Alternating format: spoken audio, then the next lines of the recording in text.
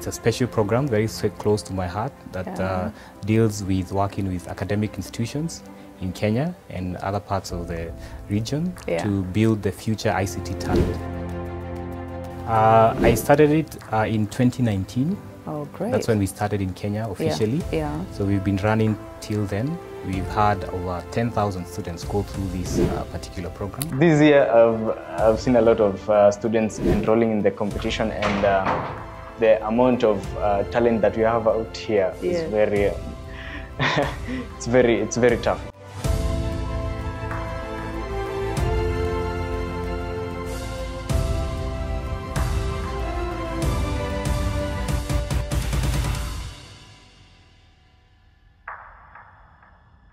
Hello and welcome to Globe Traktion. My name is Pasil Telewa and today on the show it's all about technology. While I sit down with Michael Kamau, the ICT Academy Manager of Huawei Technologies based in Nairobi, Kenya. We don't just speak about the ICT Global competition happening right now, the 2023-2024, but we also speak about the opportunities in technological industry that have been able to impact lives across the world. I also have a sit down, or rather a walk around, with one of the top students, the winning candidate of the ICT Global Academy, based in Nairobi, Kenya, by the name Louis. So I hope you get a little bit inspiration from this story. Nice finally sitting down with you, Michael, Good to see you too and meet you, Pasil. and thanks for making the time. I know how busy you are. You're most welcome. Thank I'm glad you. to be here, yes. You know why I'm here today? I think I have an idea. you have an idea. Yes, I like that. You're doing amazing stuff. And Thank you. And I understand you're the lead person with Huawei. Is that correct? yes, W- What is your role? P- Tell me, please. So my name is Michael Kamau. Yeah. I work at Huawei Kenya office, and I'm responsible for a program we call Huawei ICT Academy. Uh, it's a special program very close to my heart that Yeah. uh, deals with working with academic institutions in Kenya and other parts of the region Yeah. to build the future ICT talent for the robust ICT uh, industry. Yeah. So when you talk about you're in charge of this particular project, I understand it's been running for quite a while. Mm. When did you start the project? Uh, I started it uh, in 2019. Oh, great. That's when we started in Kenya officially. Yeah. So we've been running till then. We've had over 10,000 students go through this uh, particular program. Since inception. Yes, since inception. Yeah. So it uh, has, has had a great success here in Kenya and even beyond because as you know, Huawei is in different parts of the world, uh, even in Africa and Yeah, the region. yeah. So in Kenya, we've done particularly well. And uh, I'm very proud to say that we have uh, supported young minds, brilliant minds at uh, university level to uh, have a better future in the ICT industry. Yeah. Uh, am I pronouncing it right when I say Huawei? How do you pronounce it? Huawei. I, it also had. Uh, it was. It was also a challenge for me when I joined. Huawei. Yeah. Huawei. Huawei. Huawei. Yes. So I understand Huawei is in a number of countries. Mm. You know, uh, besides Kenya. You know, how many countries so far right now? Uh, so Huawei is in 170 countries. 170 and we serve over a third of the world population. yeah. Great. So tell me a little bit more about you know that particular project, the ICT Huawei project that you're in charge. How does somebody apply? How do you roll out you know uh, advertisements or how does the whole process go? All right. So maybe I will start by saying Huawei is a leading global provider of ICT solutions and smart devices. Yeah. Uh, and uh, Huawei has over, over 207,000 employees across the world in 170 countries.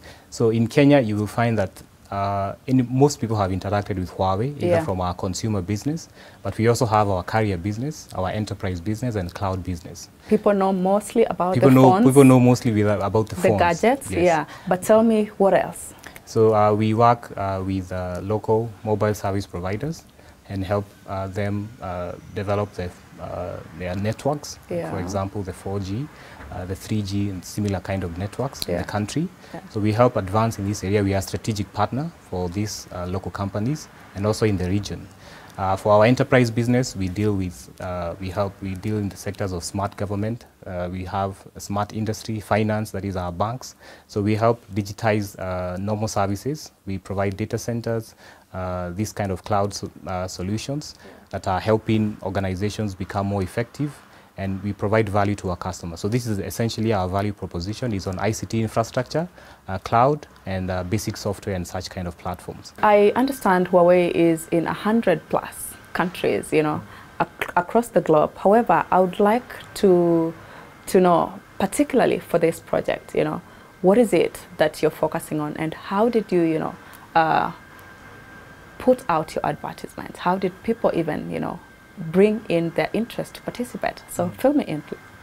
Uh, yes, so apart from Huawei uh, leading in ICT infrastructure and cloud, so our uh, activities center around uh, working with institutions of higher education and uh, for the cutting edge tech ICT technologies. Yeah.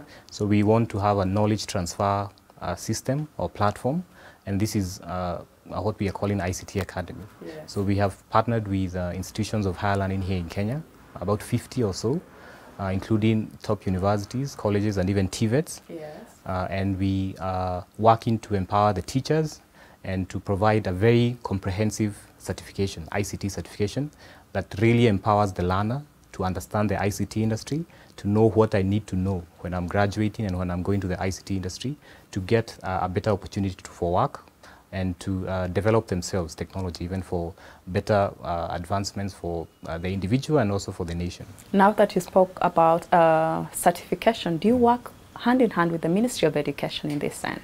Uh, it's a good question. So yeah. actually Ministry of Education uh, recognizes the program. They are aware of this project. Yeah. And actually they are very appreciative of the program that we have here in Kenya.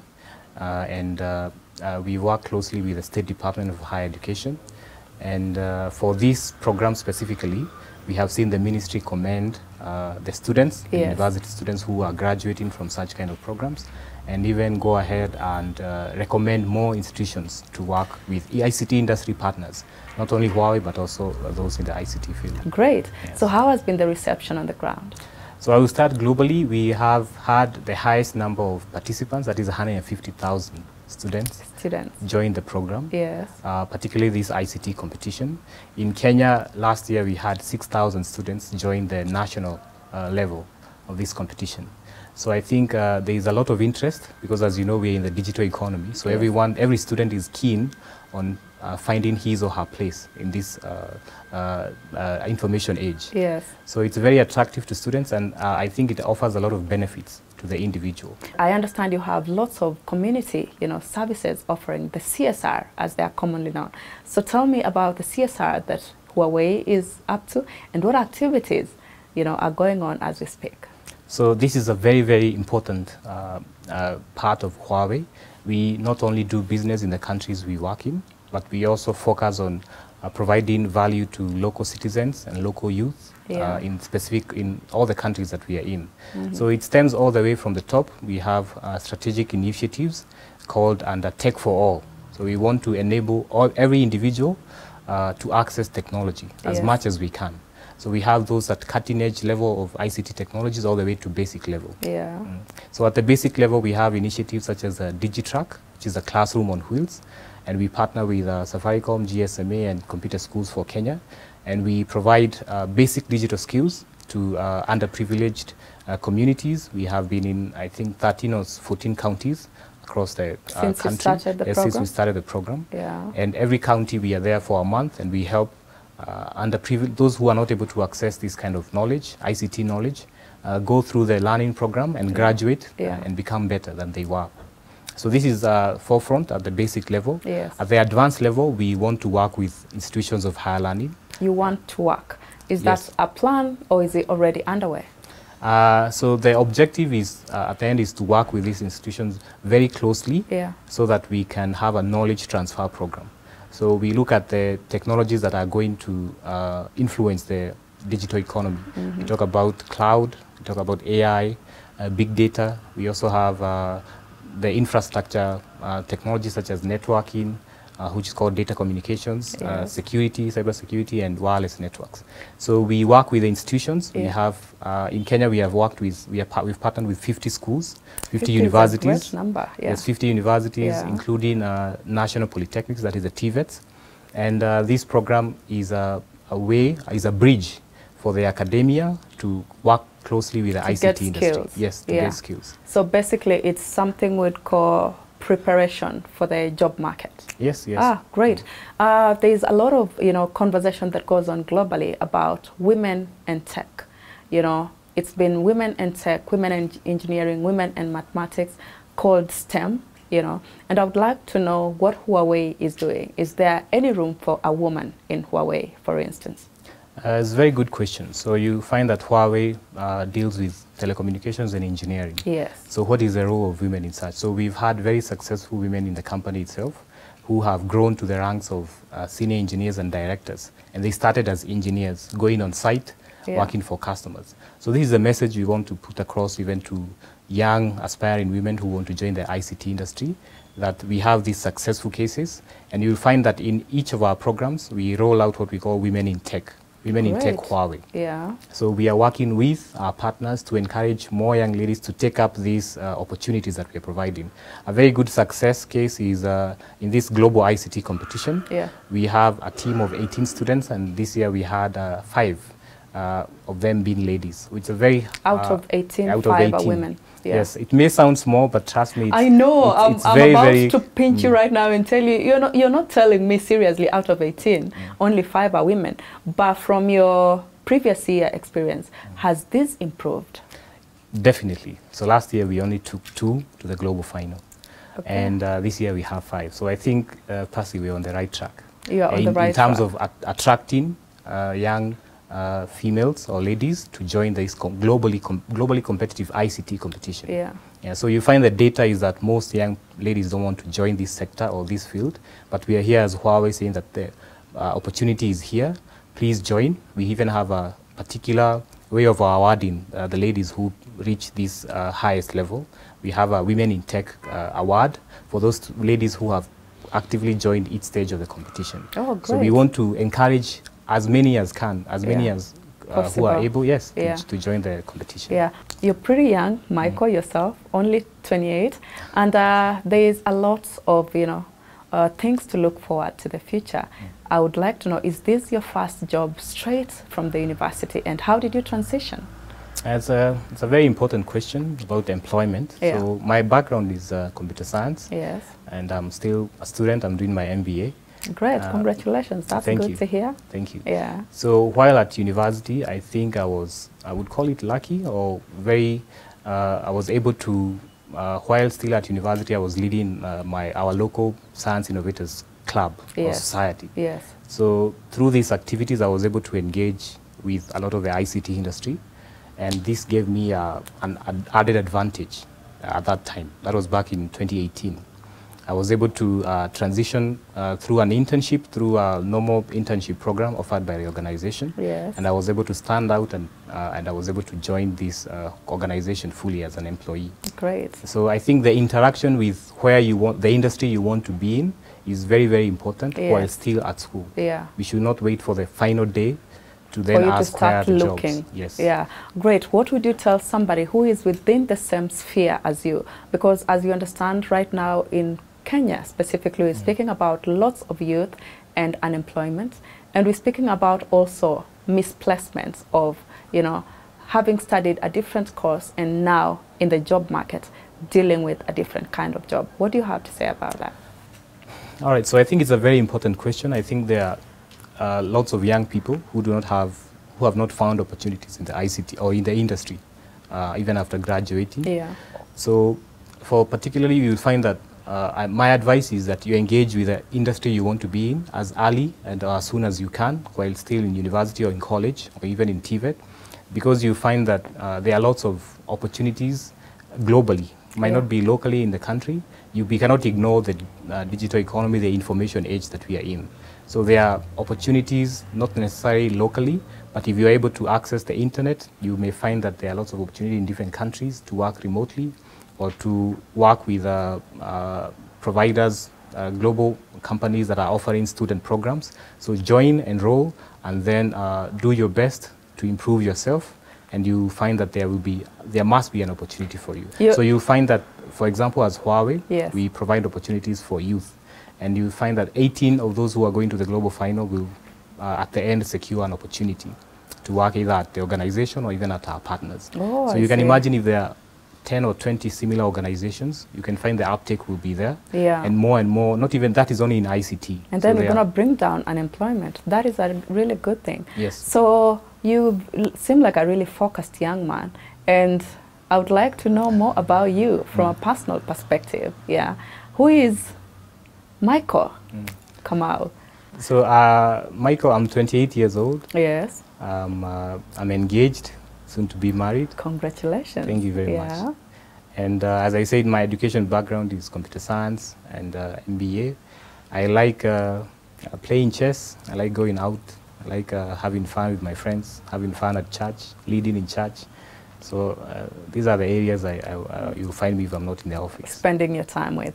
Yes. Ma- many the family of God. yeah. Yeah, many thanks for your time, Michael. I would love to have a little bit of, you know, a sit down or a conversation with one of the winners because I reckon the ICT competition had winners. And you have this winner that is set to travel to China. Yes. Yeah, from where you sit at, not to, you know, to be biased, but what is it that you think, you know, they had that the rest of the team did not have? Mm.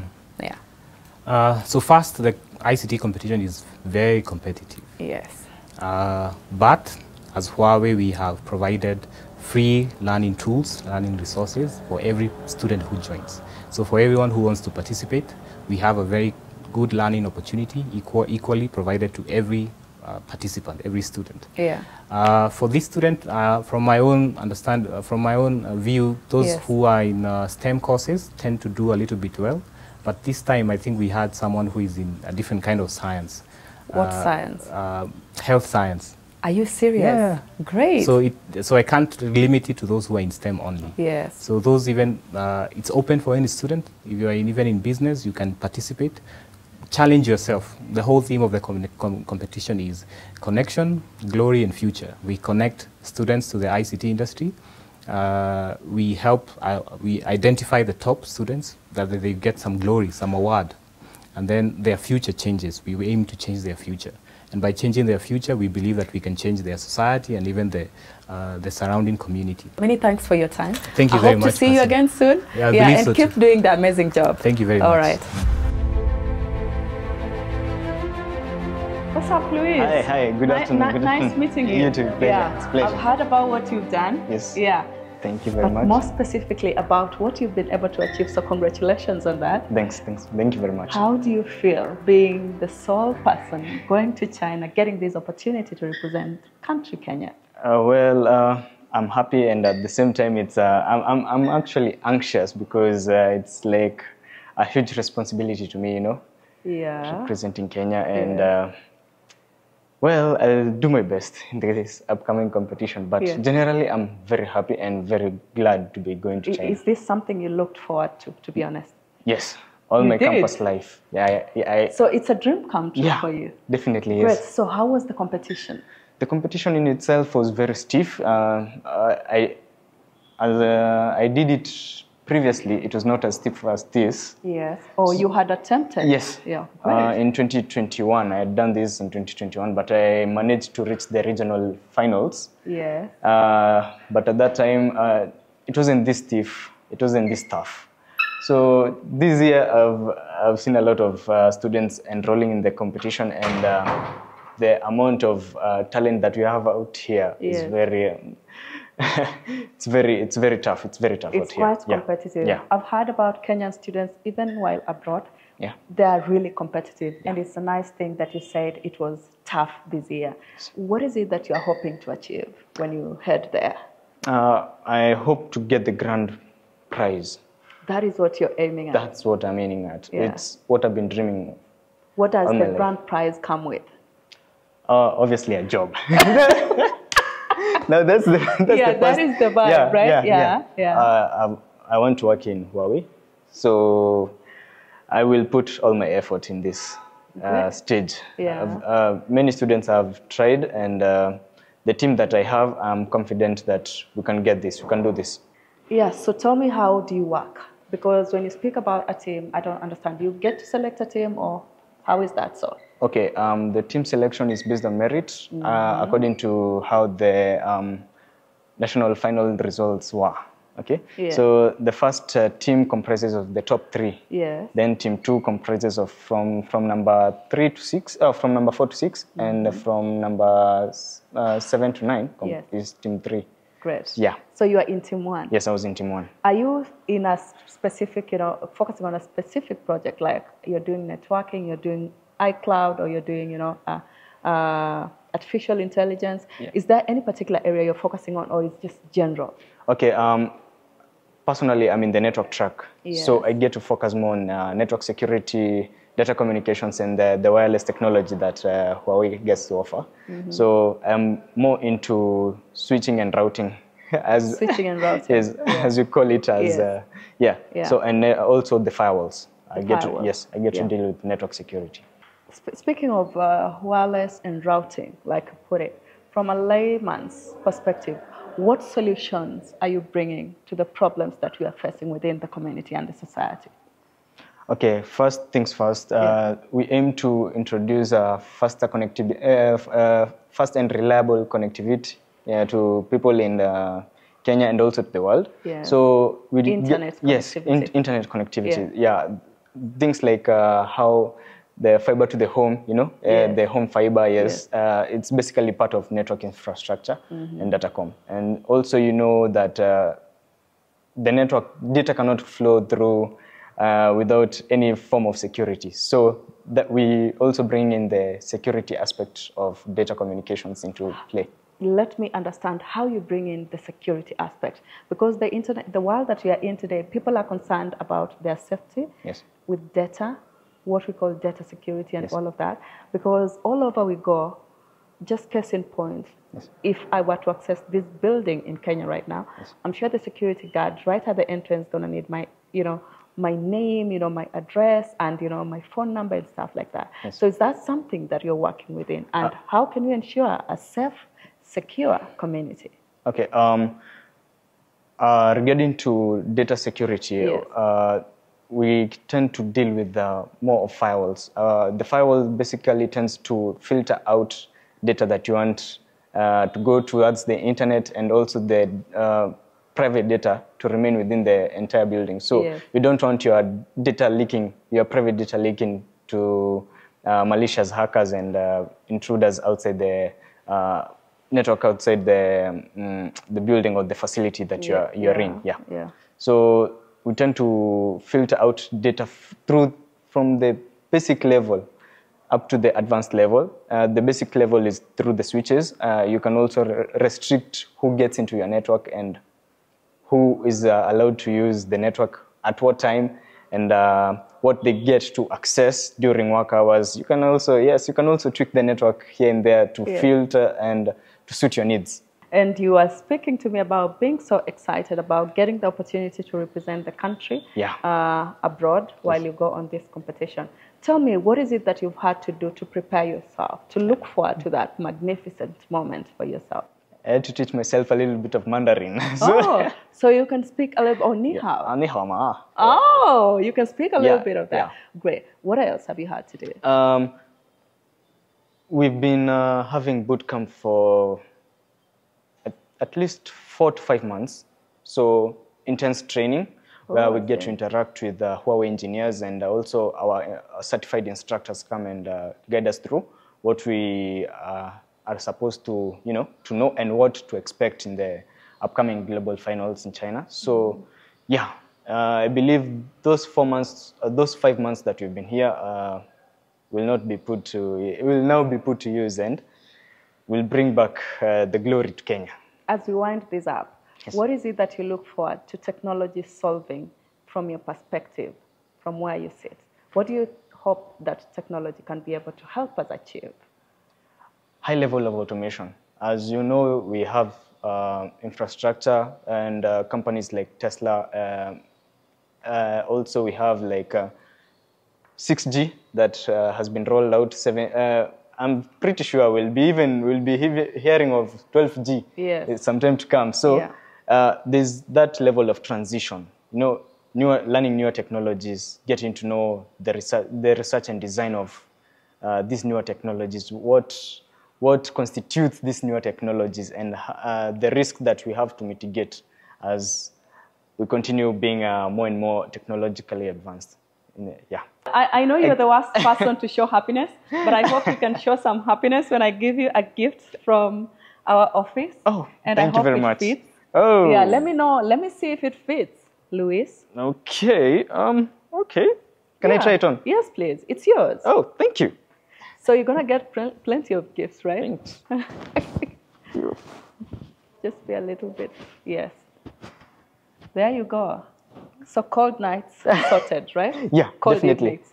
Yeah, great. Starting now. So while you're on your computer and stuff, Yes. doing whatever you do, Yes. make sure you're keeping warm. Thank you very Yeah, much. I so- highly appreciate. Anytime. Yeah. And thanks so much, Luis, for your time. Yeah. All the best in your future endeavors. Thank you. And even on your trip. Thank you. Yeah. Uh, hopefully, I'll see you soon uh, when we come back with the grand prize. With the grand prize. Yes. I hope you win. You're not going there to fail. Am I sounding like your mama right now? Words of encouragement. I- that's something I need. I mean, we are very, you know, smart people. Yeah. So we are hoping that you can represent us Yes. very well I will. and come back home with a prize. Thank you. I'm glad to hear about Michael's inclusion on the women in ICT. And I hope you learned something from the show today. Many thanks for watching. If you have a story you'd like to share with us, please don't hesitate. Write to us through globetraktion at standardmedia.co.ke or DM us on our social media platforms at globetraktion or at KTN News KE.